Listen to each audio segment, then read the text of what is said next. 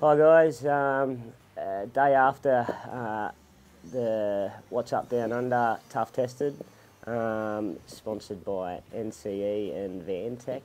Uh, a little shout out there.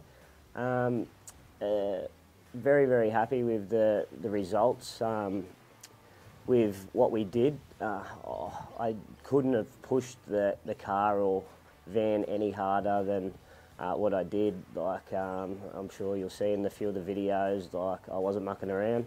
Um, it's definitely not something that I would recommend to um, people to be driving that hard. Obviously, if you had uh, condiments in the fridge or anything like that, or they're not really going to be uh, where you put them when you pull up. But it was more about um, trying to push the van uh, to its limits to see uh, if we could um, get any, um, find any weaknesses or anything like that.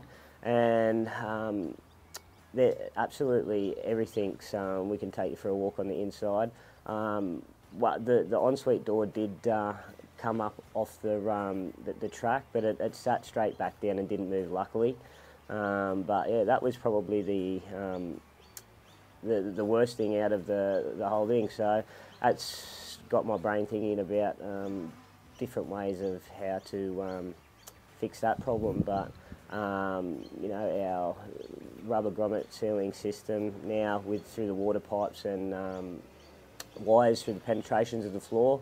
Uh, there's not a dust in there. That we were running the um, uh, CES dust reduction system, um, so that's obviously done its job as well. Um, yeah, the Mickey Thompson's, the Cruisemaster Airbag XT, absolutely annihilated it. We um, it, during the tough test, um, they called it the graveyard um, as such. They're really big wombat holes. Uh, what we did after the, all the test was finished, there was a section there that um, they were trying, sort of said to stay away from, um, and we pumped the airbags up uh, to give us a bit more uh, ground clearance, and uh, went and took that, that that sort of side on again.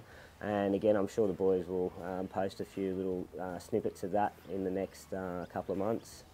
But yeah, overall, like the, the cars, apart from being dirty, um, stood stood up, and uh, yeah, the the Dakar absolutely smashed it. Um, I couldn't have been any. I was actually shocked that how yeah it just come out on top, and you'll see through the videos what we did and uh, yeah, I'm sure you guys are going to be pretty impressed. But uh, yeah, we're going to get back to Melbourne.